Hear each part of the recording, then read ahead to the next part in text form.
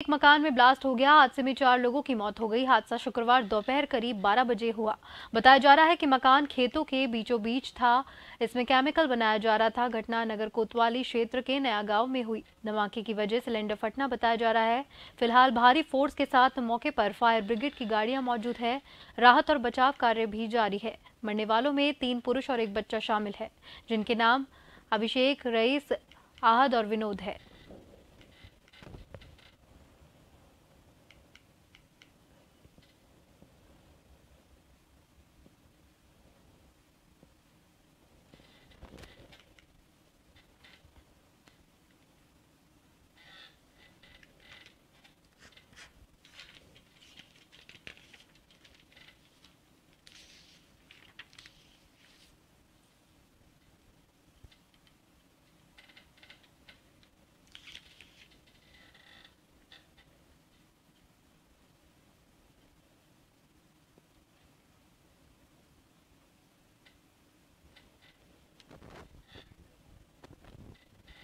ये कोतवाली नगर में एक ये नया गाँव पड़ता है। यहाँ खेतों के बीच में एक मकान बना हुआ था जिसमें ब्लास्ट होने की सूचना मिली।